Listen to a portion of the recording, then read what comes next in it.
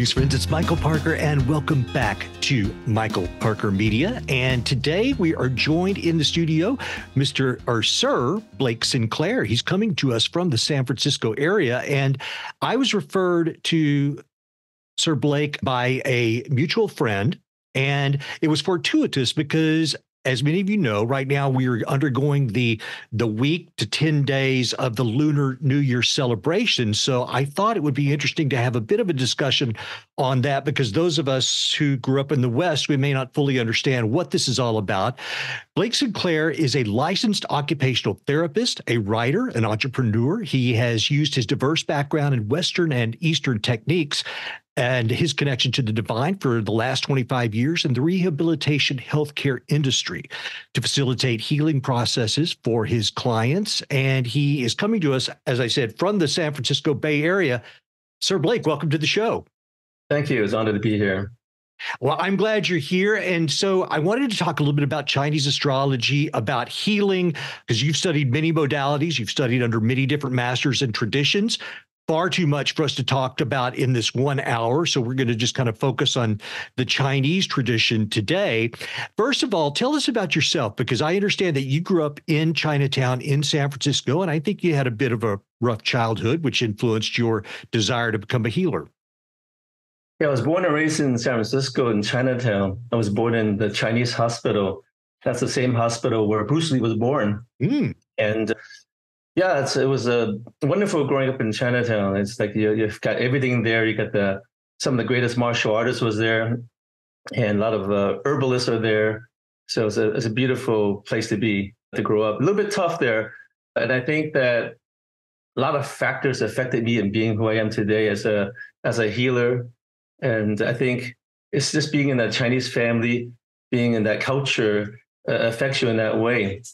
So when you go to Chinatown, you see the herbal stores, you see all the herbs. And my mother would bring me to Chinatown, go shopping for herbs for soup. And my grandma was from the old school. So when we get sick, they would give us certain herbs to take, like goji berry or licorice to help with our health and wellness. And so I'm kind of exposed to that at home. And then you, you see acupuncturists, and then you see what they do. And even my martial art master, he's a, a famous martial art master, Grandmaster YC Wong. In fact, he, he's still there. I mean, he's, he was there when I was young. He does a kind of a Bagua martial art that keeps his longevity. And he's still very active in his martial arts studio in San Francisco to this very day. And it's just amazing to see these people and what they do. You try to figure out, and, and I used to watch him take care of people. People come to him, he would rehabilitate them and give them herbs and supplements to heal them. So you see that, and so that kind of gets into my psyche. And growing up in an Asian American family is very difficult during the 60s. Back then, the the parents are really strict, and it's hard for them to show love. And so it's like you got to work hard, earn a lot, a big good living, become a doctor or a lawyer, or a computer programmer, something that makes a lot of money. And you know, I was always always compared to my relative my cousins who was much smarter why can't you be like this guy mm-hmm. and of course so that that puts a heavy stress on me growing up as a child and uh, that, i think it was hard because also the parents back then it's hard for them to show their emotions not like nowadays everybody's hugging and loving you know and back in the 60s there, there wasn't a whole lot of that love and affection and and so it was difficult being in that kind of environment and it was a kind of chaotic environment to grow up in and uh, so it affected me. I got a lot of stress. I became depressed. I became very shy, and I was very sick. And I think that was a perfect storm to push me to almost lead me to like a burnout, and I was a meltdown process. You know, and I, I felt like I wasn't getting that support. So then I, I felt like I said, "What am I doing here?" So at one point, I, I contemplated about ending my life as a young adult because you know, all you do is get the disciplinary actions and it's judgment constantly. And so I, I broke down. But fortunately, my mother was able to release that ego and she cried. And that uh, really affected me because I saw the love that come out, come out of her. And that's something I never saw from her before. But I mean, now as an adult, I look back and I realize they love me. But it's just hard back then, coming from the old school. You know, we were raised certain way and they were raised a certain way. But I realized that, you know, she was doing things in, in her own way to love me. And that kind of motivated me, inspired me to work hard to end my suffering. I was suffering. I was so internally preoccupied. I was so sick all the time. And I don't want to be that anymore. But I, I wanted to make a difference because, yeah, I was suffering too much. I didn't want to be that way anymore. I don't like, want to be like a normal person. Yeah. Um, what was it that you were suffering from? I mean, I know that a lot of these things can be caused by our own emotional issues, which we will talk about because it's in your book. But what was the actual? Were you fatigued? Did you were you fluey? What was your sickness that you were undergoing? Everything. I had asthma. I had trouble breathing. Yeah. I had that very often. Uh, I would get colds all the time, migraine headaches, and emotionally, it was a very anxious, depressed, anger, angry, very angry person. So I kind of internalized that. So I blame myself for everything. So I had a very low self-esteem. So you have all this internal dynamics, and it's hard for me to even think. I go to school, I can't even concentrate.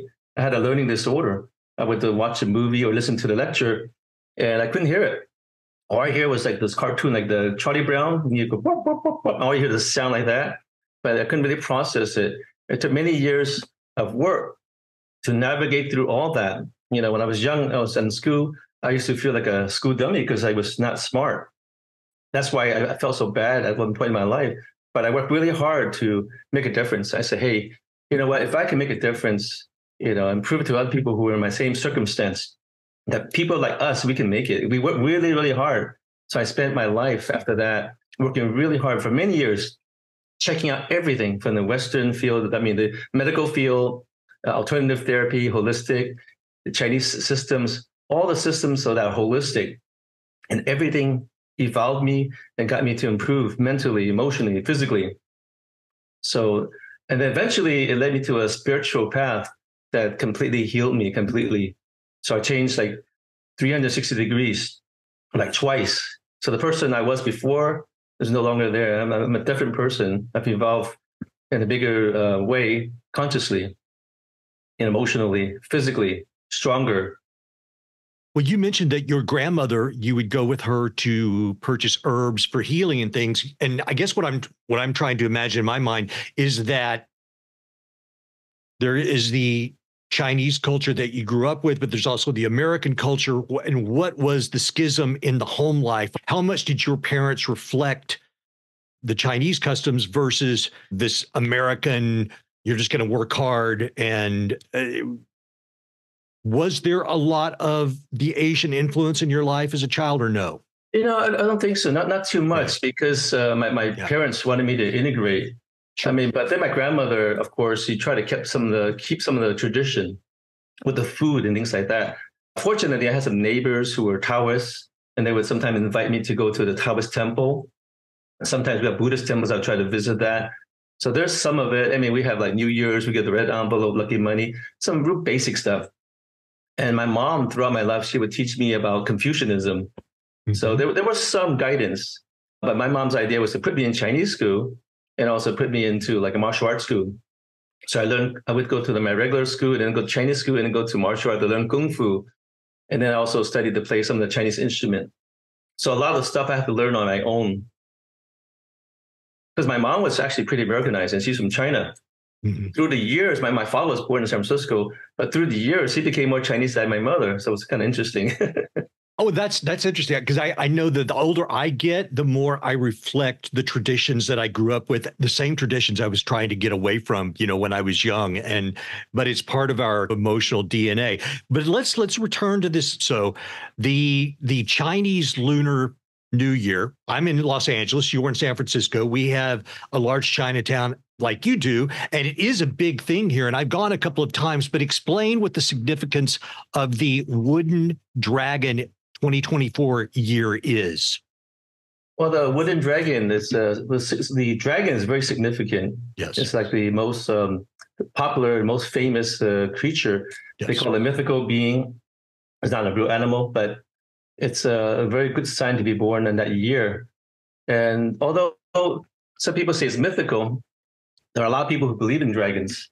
And right. I'm here to tell you that it goes back so many thousands of years in China that there was a dragon there. And there's and you see artwork with a dragon going after a pearl. The dragon represents the emperor. And the pearl is actually a real pearl that was given to the emperor.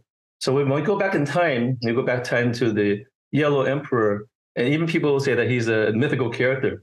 Mm-hmm. But I actually uh, presented at a Taoist conference, and I met the direct descendant of the yellow emperor.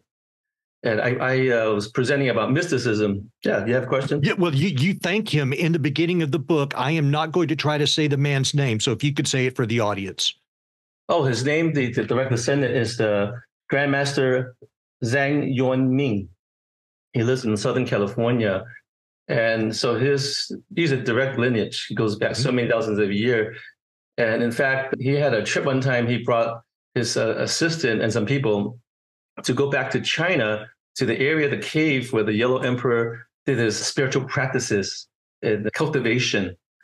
So the story with this Yellow Emperor he's the one that's responsible for bringing China together as a one country. And he was a very spiritual person.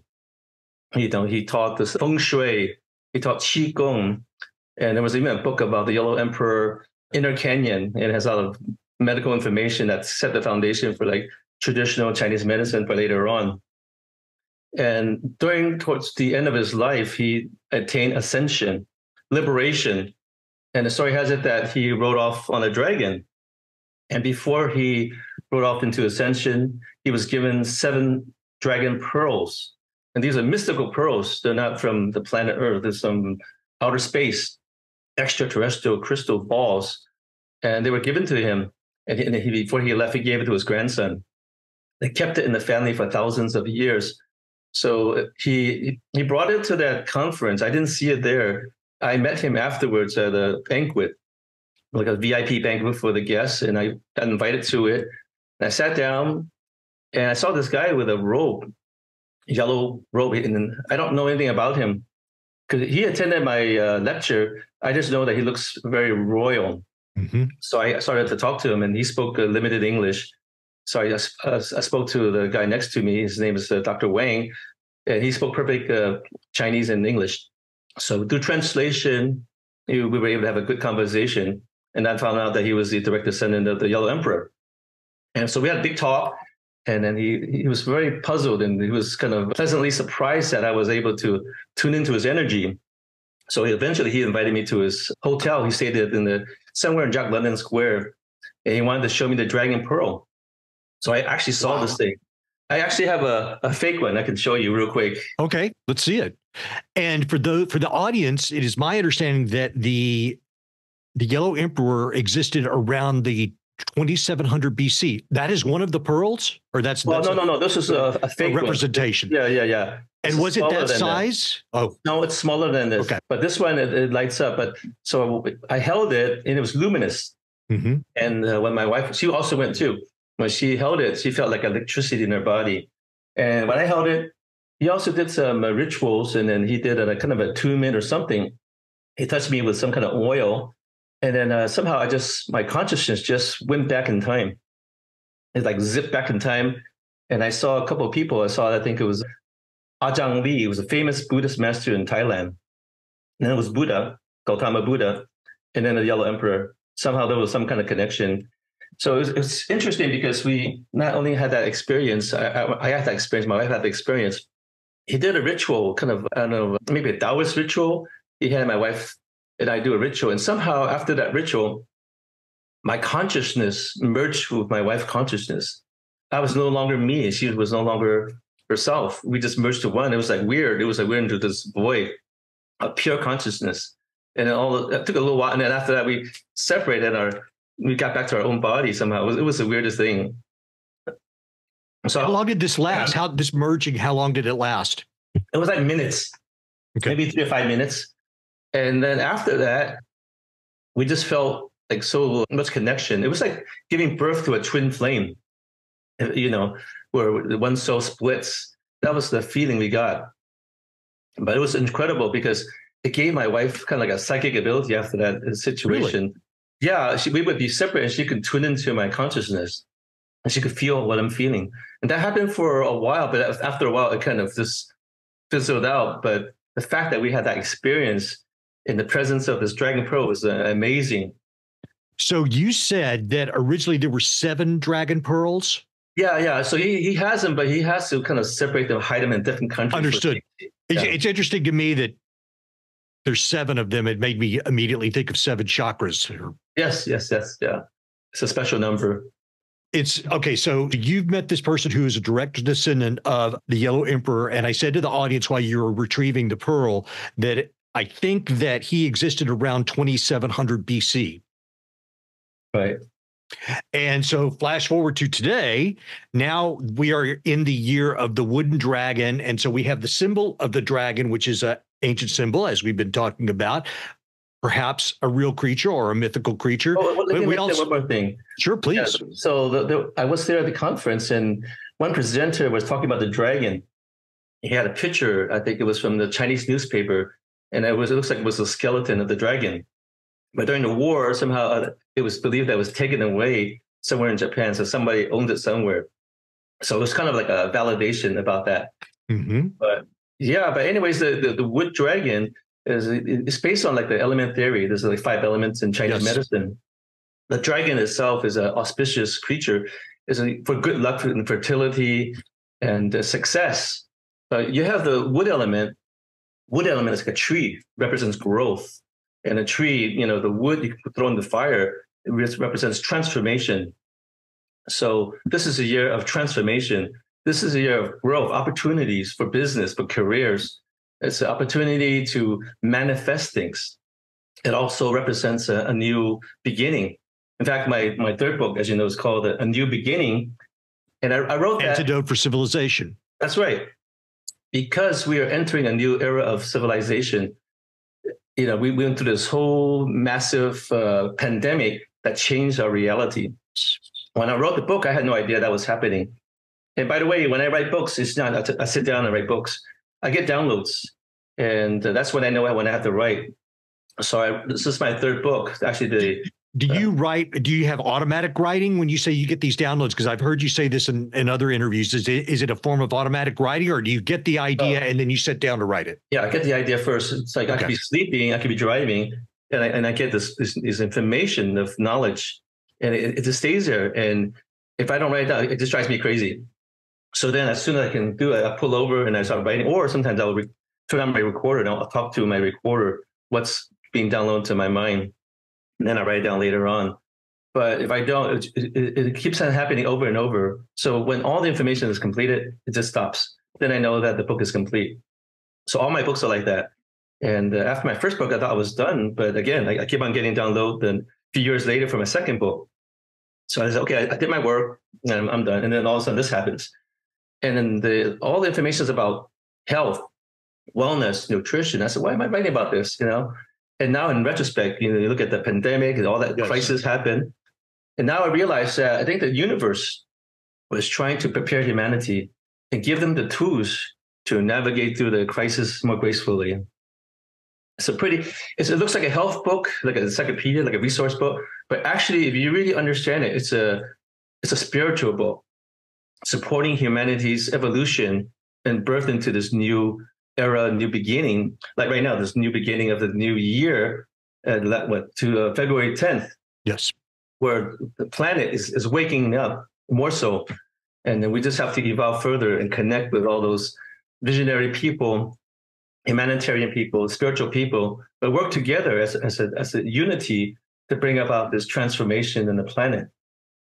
The COVID years, and I mean, they were very difficult. And on other shows, I've talked a great deal about this. And it is my feeling that Western medicine and pharmaceuticals really failed us because we became very draconian in the measures that we chose to fight back against this thing. And what draws me to your work and and and uh, many alternative healing modalities is that there are other ways to look at things besides a surgical procedure, besides a pharmaceutical, besides putting someone in a bed in a um, corporate hospital.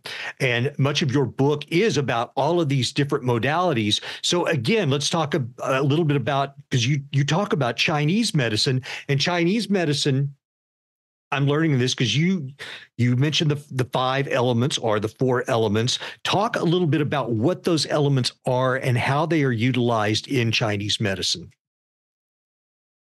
Well, the five elements are like the wood element, the water element, the fire element, and air. Air, yeah, yeah. and fire. So yeah. they, they look at that. I mean, I'm not an expert in that, but from my understanding, they look at these elements and the relationship between the elements and there's a temporal component and there's also a seasonal component and they, they look at the organs the organs are, have certain elements too like the livers is a kind of a wood element yes and, and so by looking at that relationship you can kind of work on treatment plans of uh, how to help somebody. Like the relationship between the wood you know and, and the, the fire element and the water and the metal element.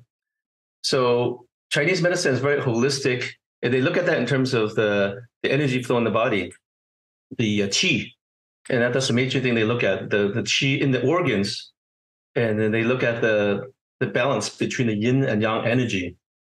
So a lot of times they can kind of ask questions. They can look at your tongue and assess the integrity of your organs just by the color of your tongue, um, and they can also feel the pulse. They can tell if there's too much yang energy or or, or maybe not enough yin energy. So they can get an idea of what types of herbs would help or what type of exercise would help to improve the qi flow. So a lot of the focus is on qi flow using the element theory, using herbs to help, using acupuncture to clear those qi blockages. And the qi goes through the meridian channels supplying the body, the, the, the energy highway. And a qigong master can see these qi, the energy. They can see where there's a dysfunction. They can fix it. Conversely, they can also look at you and they can also damage you with a slight touch of a finger if they wanted to.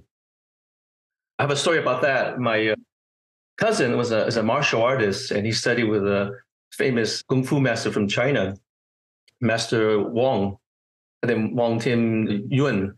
And his grandmaster was a famous Shaolin master in China. And we talk about the real thing, the real kung fu, real martial art. And one time he he migrated and lived in uh, San Francisco, and he opened a laundromat.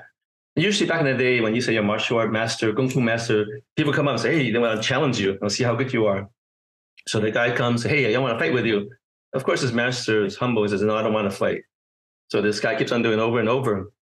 Finally, the you know the last time he, this uh, master had, it, he's okay. You you protect yourself, okay, and after that you go get yourself checked out because you, you're going to be hurt really bad.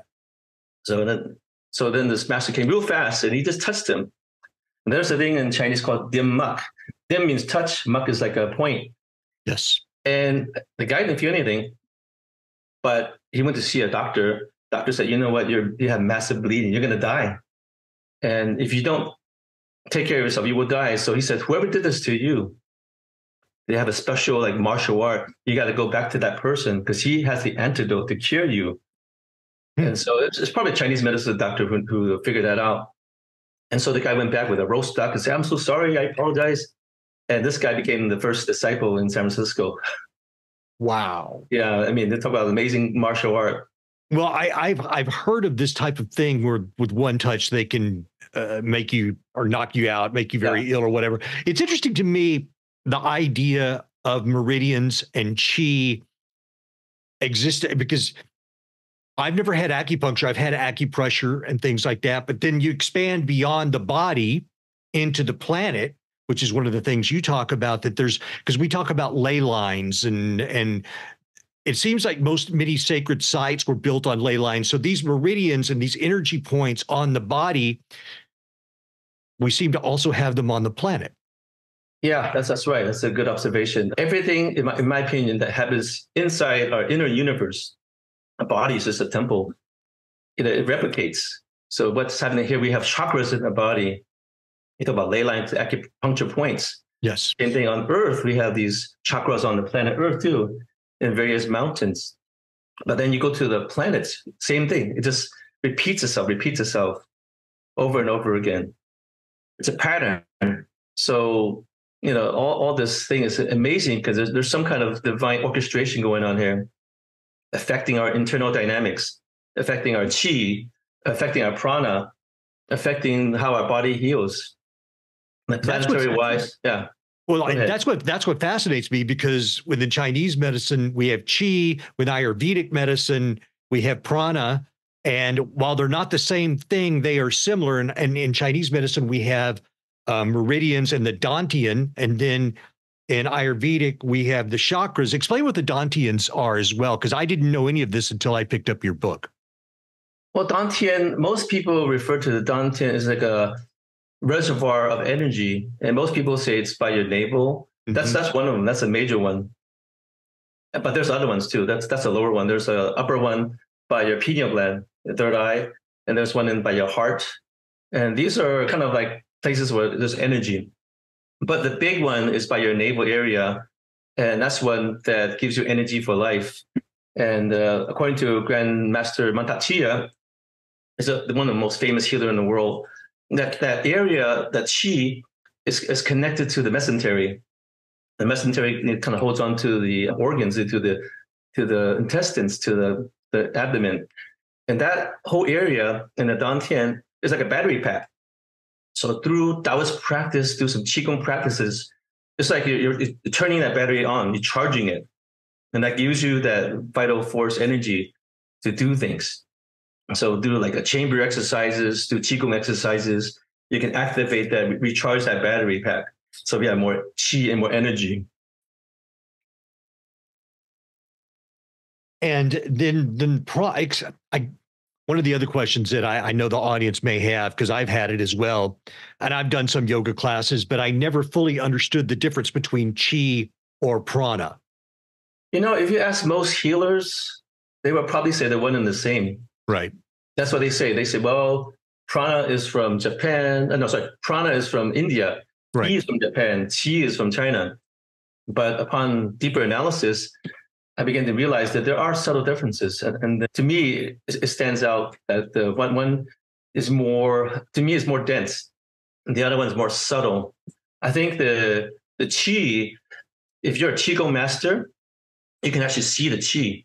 You know, as I mentioned before, Whereas the, I think the prana energy is more subtle. It's kind of like subtle energy, like the aura. Mm-hmm. You can't see it. Most people can't. You know, unless you're a very specialized shaman or something, maybe you can see that. But the average person can't see that. And it's kind of like superimposed on the central nervous system.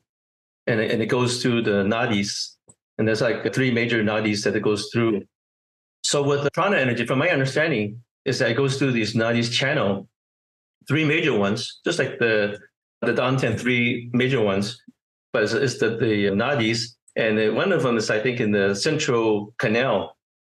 It goes like, I think, from the spine to probably the cervical area. And then the other one goes to the crown chakra.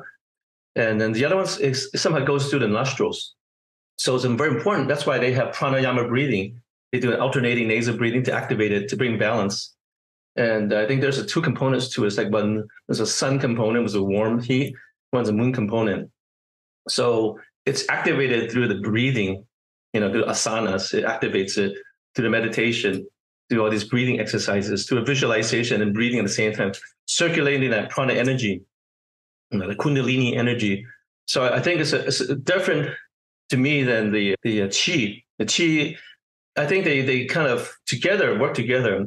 Mm-hmm. So then going back to the prana, it kind of twists and turns through the the central canal yep. creating these plexus or these chakras, seven major chakras, energy points, vortexes, if you will. But there's more than that. Some people say 13, some people say 108. But wow, yeah, realistically, we, we have chakras everywhere. I mean, all the acupuncture points are, are chakras basically. So, but seven is enough when you work on that, you, you get good health. If you're feeling lousy, you, you get Reiki done, you work on all that balance, you feel great. But sometimes want to higher consciousness, you have to work on different ones.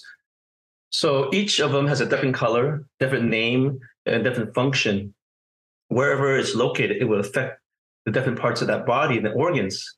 So by maintaining the integrity of it, making sure it flows through the breathing exercise, through energy work, prana healing, you, you obtain health. Whereas in the uh, qigong, I mean, the qi, you have blockages you have to have a more direct approach, like an acupuncture, to open that uh, point to clear it, so it goes to the organs for healing. healing in terms of balancing the organ in terms of the yin and yang energy. So kind of a little bit different perspective, similar but different.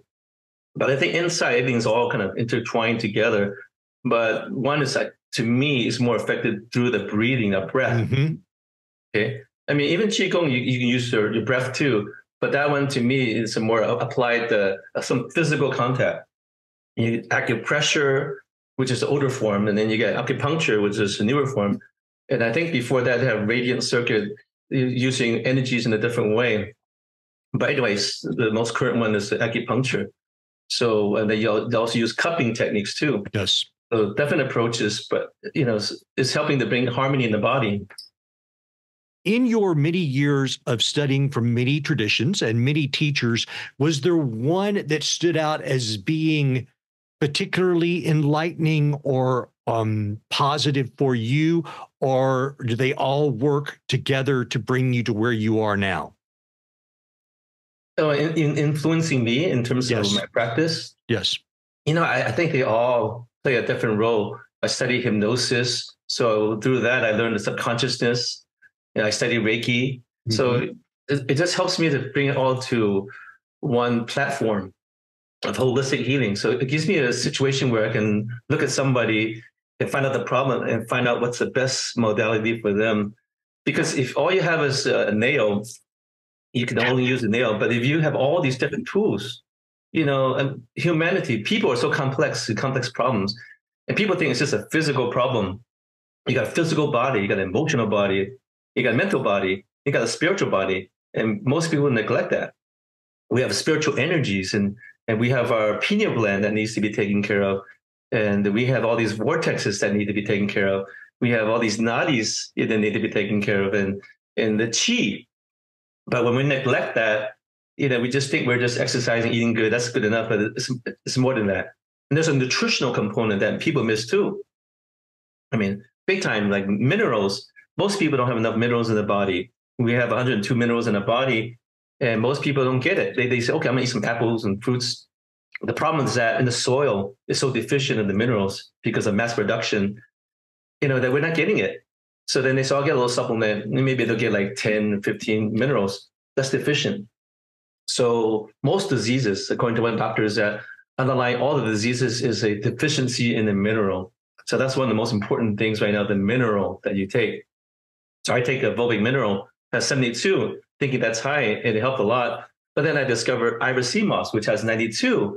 When I switched to that, I found a big difference in how I felt. There was a particular mineral that you mentioned, I believe, in chapter six, related to uh, mental health, especially for depression. I'm trying think, to find uh, lithium orotate. Yes, I have never heard of this before. Talk about it.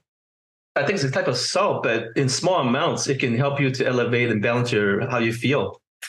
So um, I think there's some places they even put it in the water because of the population is a high amount of suicide and then they're trying to pacify people kind of stabilize their, their mind a little bit it's not i think there's a medicine with lithium carbonate but this is right. a very mild form to bring some balancing but well, that's uh, something easy I, you can use yeah because so many of us I used to be on antidepressants. I'm no longer on them. I was on a, on Zoloft, mm-hmm. and so I've always found these ideas interesting. I'm getting up there in years and I want to keep my brain as clear as possible. And I've also had depression in my family. So when I saw this, it, it stuck out to me and it wasn't something that I had heard of before. There, there's so many things out there. I mean, uh, after I wrote the book, I, I just I just keep learning more and more stuff. It's just incredible the technology that exists out there to help you. There's a machine I wrote in the book about the Ajna light in one session, I mean, if you're feeling lousy, like the end of the world, you have one session, you come out feeling like you just had a vacation. Which light is it? Is this the uh, rapid? Is this the rapid eye thing? No, no, no. It's the you know, yeah, it's flashing light when you, when you look at it. But then when you close your eye, your brain creates all these ge- geometric patterns, and somehow it balances out your brain. So the, actually, the Ajna light is kind of a laziest person the meditation, but it's a neural light that helps balance out for the depression or anxiety. I, I see people before and after, it's like night and day, totally different person. And only a few minutes, five ten minute treatment, and, and boom, you feel it's natural. Incredible. Yeah. But there's so many, so many supplements and so many like things like even magnesium, you know, most of us are deficient. When you get enough magnesium, you're less anxious and you're less depressed. You have St. John's Wort, you have Rescue Remedy. There's so many things out there nowadays to support you. Even Indian tradition, they have ashwagandha that helps you relax yes. more. But the best thing I tell you is exercise. Just yes. do like 30 to 45 minutes of exercise. Do salsa dancing, do ping pong. According to Dr. Amen, the brain specialist, these are two of the best exercises for depression. Interesting. I, I had depression many years and I did that, boom, felt great because you're, you're busy learning something and you, you, you move yourself from thinking over and over and your, your brain creates new pathways. You said salsa dancing and ping pong. pong, that's what he said. He's well, an expert well, brain. Well, that's interesting to me because in both cases they require a high amount of cord, hand-eye coordination yes, that's right, that's versus right. just exercising. Like I, I, went to the gym this morning to kind of wake up and get the things flowing, but I was not doing things that required a great deal of coordination. They, yeah. I'm on the treadmill, then I'm lifting some weight, so it was I was exercising, but I wasn't doing those things. I mean, those things help too, but when you do these more complicated things, it, it enhances how you feel. It and makes also, sense. Yeah, yeah. And the other thing too is uh, a lot of people neglect the gut. Yes. Yes. And that affects how we feel. So a lot of the stuff we eat destroys our gut microbiome.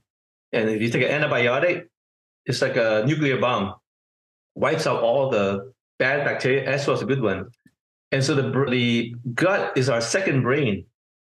So if that's not working, it's not sending the signals to create serotonin to help you feel better. It communicates with it. And if you're not taking care of that, it starts to make your brain inflame, creating dementia. Dementia is the, now going to be called like the type, the third type, the diabetes type three, you know, because it's sugar-based type of disorder created by sugar. Sugar is like a, the evil in the nutritional world. It feeds cancer, and it also fuels the, the dementia acceleration of it. I a lot of the diseases, that. yeah. So if you the carbohydrates basically, so when you break down carbs, they become glucose, and then then that becomes sugar. So if you can change that part of it, and and, and also work on the microbiome, and making sure that you're having your probiotic and prebiotic. And probiotic is not all created equal. You have to find a good one. Most so when when something comes out good, everybody jumps on the bandwagon and try to sell it in a cheap price. They'll get it from some country to make it real cheap quality mm-hmm. because it's about profit. But if you get a good one, the difference between the good one and bad one is that the good one goes to the gut. Most of the cheap one is yes, it is a probiotic, but it goes to the stomach acid and gets killed. Mm-hmm. No use. Even yogurt, there's a lot of uh, the, the people advertise they have a probiotic, but they've been pasteurized, so it's dead. So it's no use too. So you want something that uh, is good quality that goes into where it's supposed to go and starts to uh, give you the strain that you need. So that's the basic, starting with a good uh, probiotic. But once you want to get to a more advanced level, then you want to test yourself and find out. There's test kits you can do. And there's a doctor, Dr. Grace Liu, she can test you. She's a gut specialist. They, they call her the gut goddess. Uh, she can test you and find out what specific bacteria your gut needs. That way you get the right one. Yeah, you get the right one for your microbiome and your brain will be better. Your body will be better. Your inflammation will go down. You'll be happier too. So if you look at it in terms of this kind of holistic approach, you get a better outcome. So you'd say, well, take a lithium orotate. Well, that's one thing, which is great. But I find my practice that getting from a different angle, from an exercise angle, you know, from hydration angle, from meditation, all these things combined, you get longer lasting outcomes.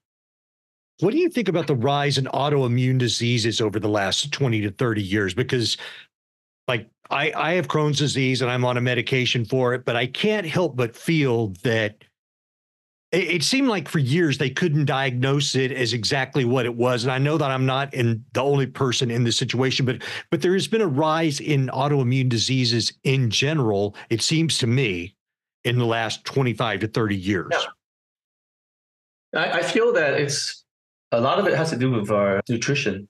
Yeah. You know, our food is so corrupted you know, all, all our fruits and vegetables just got sprayed with pesticide, and that's damaging to the microbiome.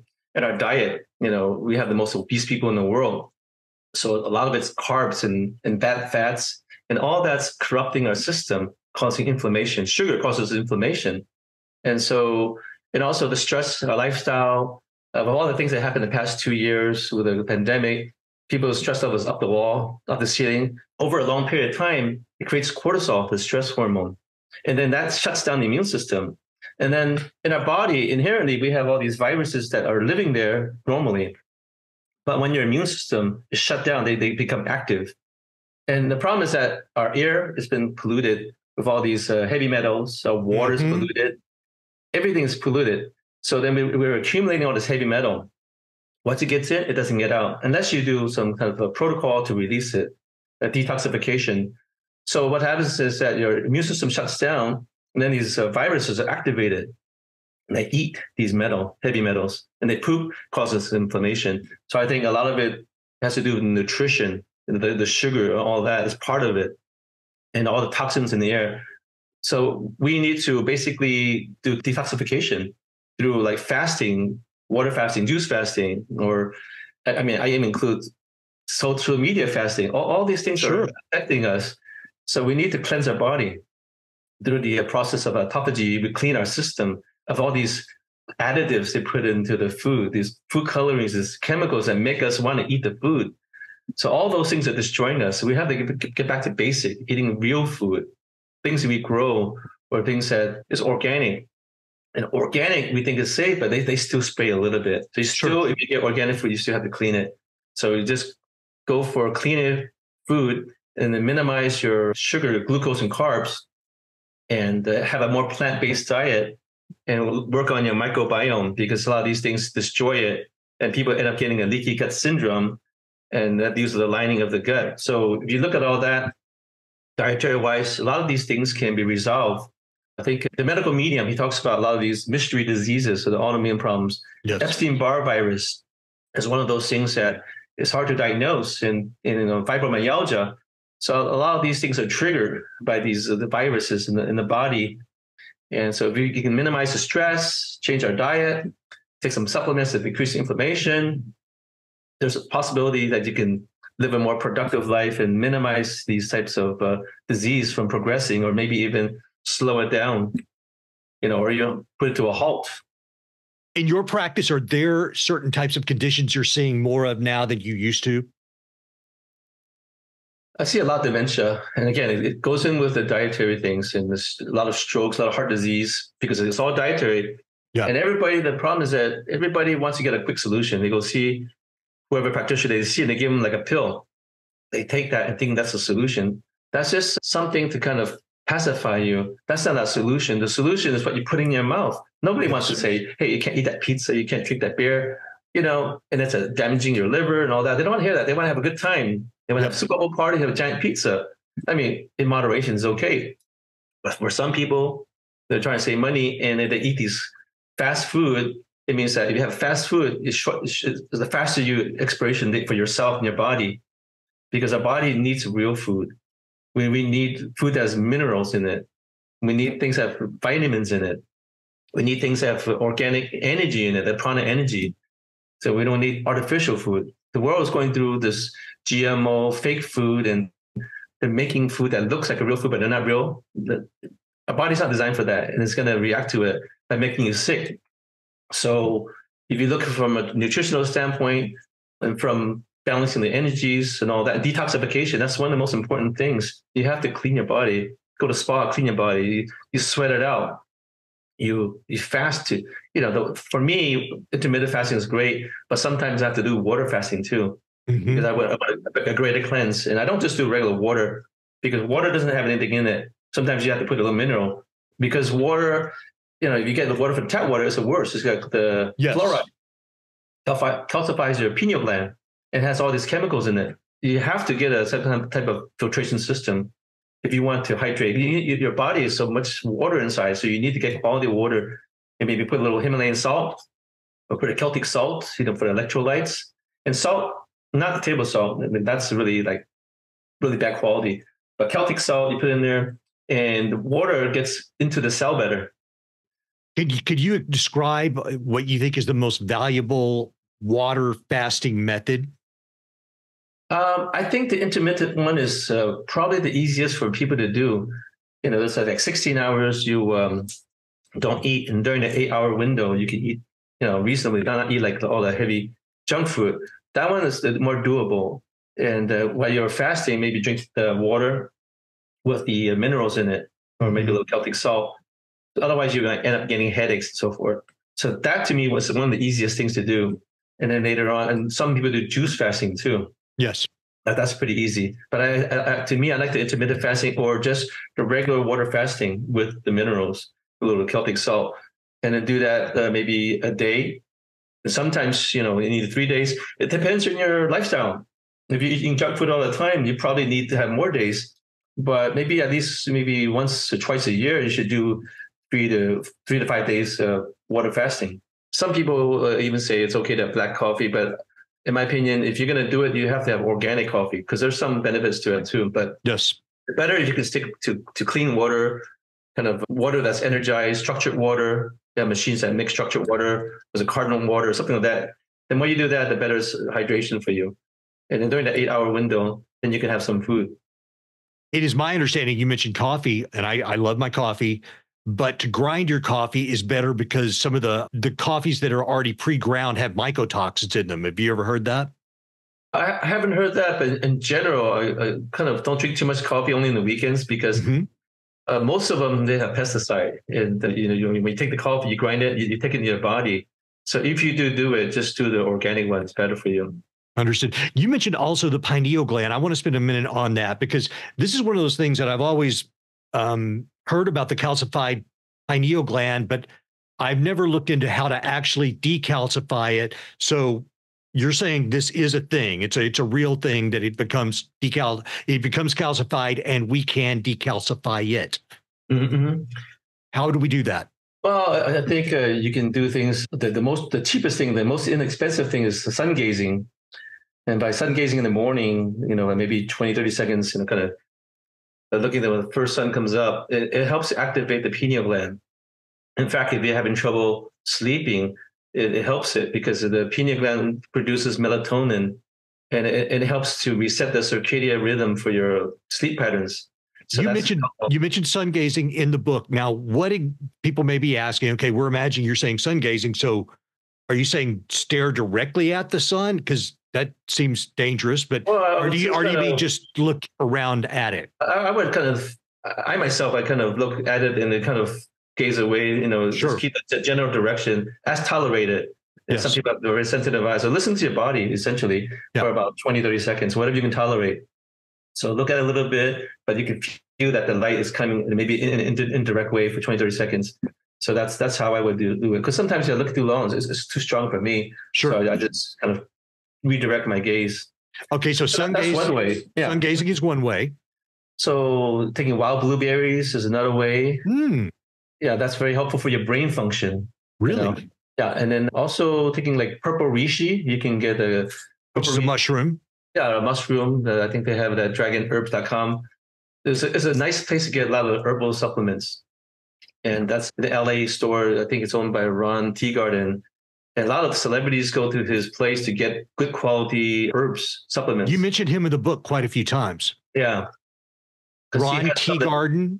Yeah, he has like really good goji berries. He's got some of the kind of exotic herbs and so forth. And he has the best tea there, the dragon herb tea. And it's touted as the healthiest tea in the world. People in China who have long life, they find out they have they drink this tea that has a certain ingredient in there that's in this dragon herb tea so that's a, a good one. They, they use as a base. So when you go to their like herbal bar, they add the other elixirs into it. They might put a chi drop to strengthen your energy so you can be a rock star, or they may have other things to help you relax a little bit more. And they have things to help the different energies in our body. You know, we have Jing energy, chi, and those balancing our energy helps us to feel better, to have more life force, and to be able to be more productive in this year ahead of us, this this 2024 wooden dragon year, are there particular things that you would say would be good for us to ingest, particularly in this year, to be in congruence with the the energy of the year? Well, I, I think just because our food chain is so toxic, I yeah. think we, we should try to eat more towards a plant-based diet and, sure. and, and eat clean, cleaner food, real food. Find things that are not contaminated if you can that's the, probably the best thing you can do.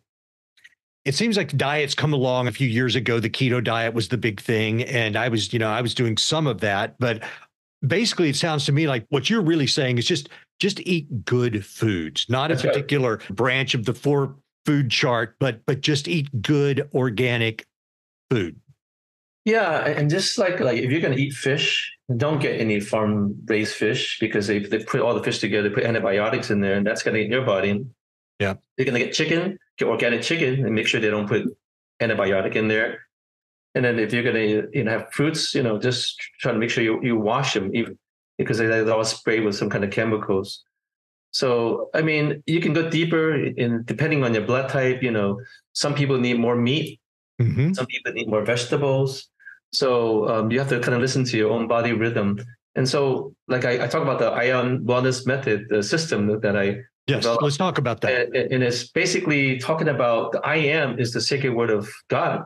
When the they were asking God, "What's His name?" He says, "I am."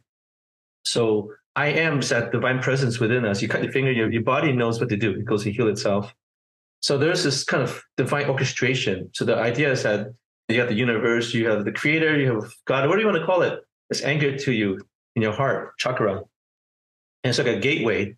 And through that uh, process, it's animating all the healing inside the body.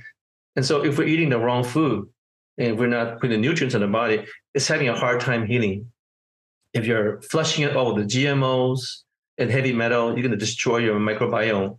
So microbiome is like the Garden of Eden. And if you don't take care of that, you're going to be a sad person. You're going to have constipation. You're going to have, you know, maybe early dementia. So the whole idea is that I look at the element theory too, but in a different context than Chinese medicine or Ayurvedic medicine. In that I, I do the like the earth element, the water element, the fire element, and the air.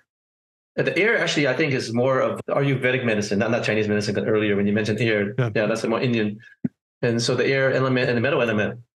But I look at it differently. In terms of the earth element, I look at the microbiome, the gut, as a kind of uh, needing the nutrients of Mother Earth, you know, for the, for the earth element and the metals, I mean, not metals, the minerals during the COVID years, was there anything that you were telling people to do in particular? Because everybody was wondering, my God, what do we do? What do we do? And I was following the Zelenko protocol. I was using HCQ and I was using ivermectin. Different people did different things. And I'm not telling anybody to do something, but what was your approach to, to well, COVID? At the beginning, it was uh, new to everybody, including myself. And sure. I, I came up with my own formulation. And but now in retrospect, it can simplify things. And basically, what I was doing is boosting the immune system. And 100%. one of the, yep. yeah, but one of the things is taking like zinc and yes. getting like zinc glycinate and taking that, and that that basically blocks the virus from replicating. But you need to get something the zinc into the cell. So something like a EGCG or something like like, like that can help to bring the um, zinc into the cell, and then you block it from replicating. The elderberry juice, you know, you take that. That also helps to block the virus from replicating. High doses of vitamin C, mm-hmm. getting a, getting them some vitamin C that's better absorption. Vitamin D is good for the immune system. You know, they were telling us to stay inside, but the reality is that we should be going outside to get sun exposure to create vitamin D in our body. Yes. So a lot of the recommendations were actually destroying our immune system. So, you know, I was telling people, I said, go outside, have a walk, you know, and then boost up your vitamin D because people were working indoors and they're, they're making themselves even weaker in terms of immune system. So vitamin D, vitamin A, also for the immune system, vitamin C, and then the, the zinc, and then the elderberry.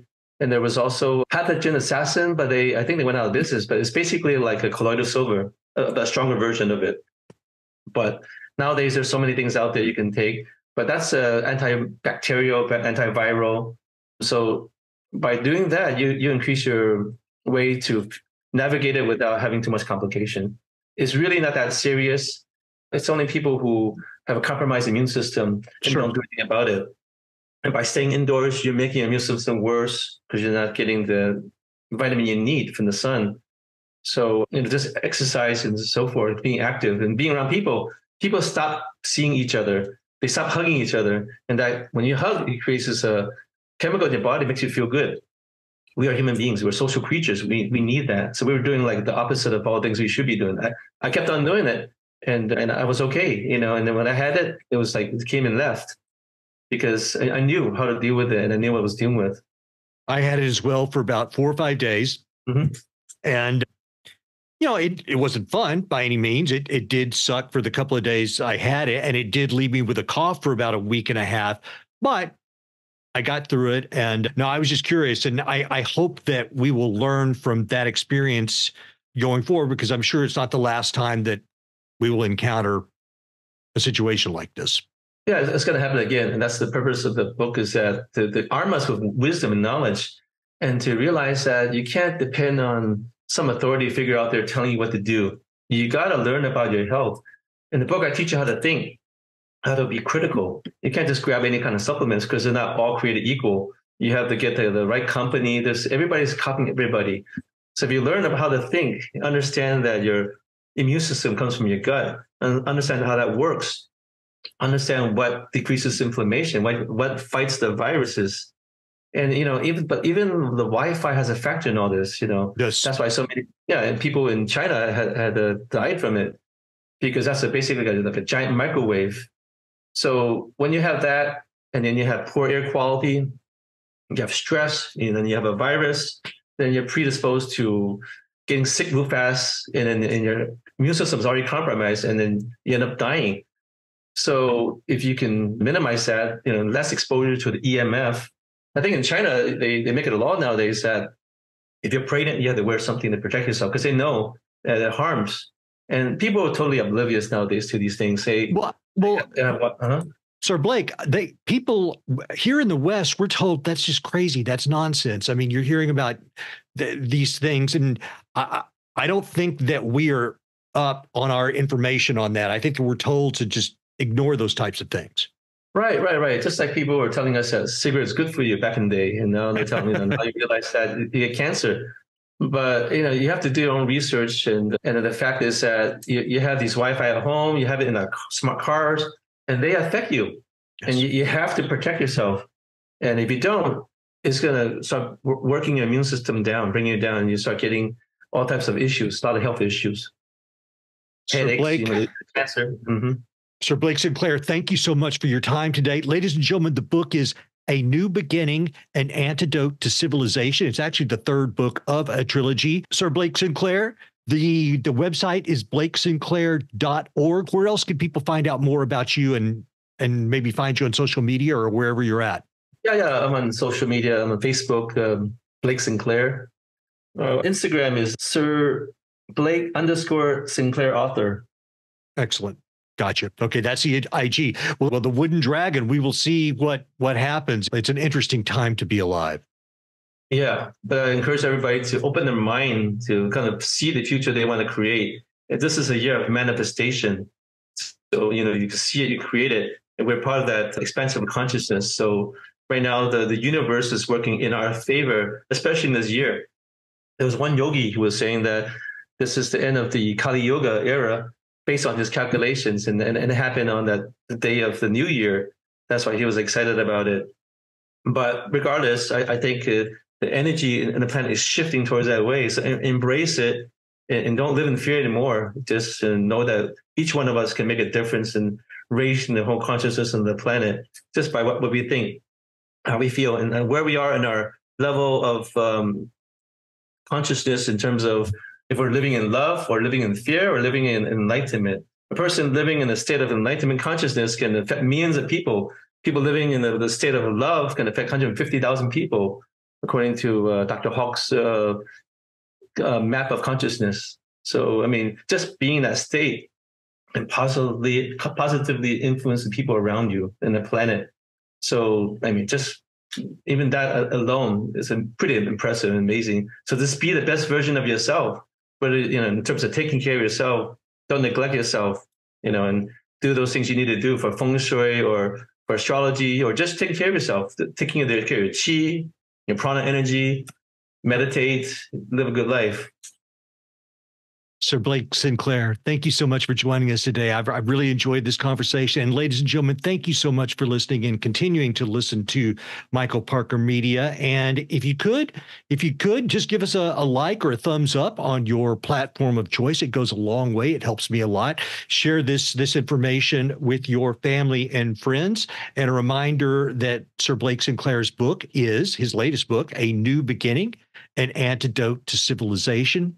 Ladies and gentlemen, thank you so much.